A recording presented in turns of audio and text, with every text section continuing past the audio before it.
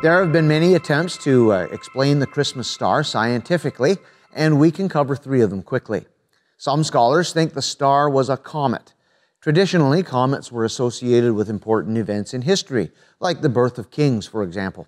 But records of comet sightings don't match up with the Lord's birth. Halley's Comet, for example, was visible in 11 BC, but the first Christmas took place around 5 to 7 BC, somewhere in there. Others think the Star of Bethlehem was a conjunction or gathering of planets in the night sky. Since planets orbit the sun at different speeds and distances, they occasionally seem to approach each other closely. But multiple planets don't look like a single light source as described in Scripture. Also, planetary alignments are they happen pretty often, so they're not that unusual. There was a conjunction of Jupiter and Saturn in 6 BC, but there was an even closer gathering in 66 BC, which is way too early. Finally, an exploding star or supernova has been proposed to explain the Christmas star. Some stars are unstable and explode with a bright blaze. But historical records don't indicate a supernova at the time of the Lord's birth. So all three explanations for the Star of Bethlehem fall short of what was predicted in Numbers 24:17, as well as what then happened and was recorded in Matthew 2. Now, there are two details about the star that are worth noting. First, the text implies that only the Magi saw the star.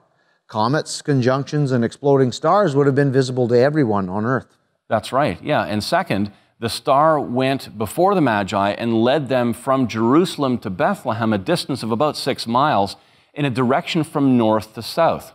But, and, and there's two, two problems here. Not only does every natural object in the sky move from east to west uh, because of the Earth's rotation, but it's very difficult to imagine how any natural light could lead them to a particular house in Bethlehem.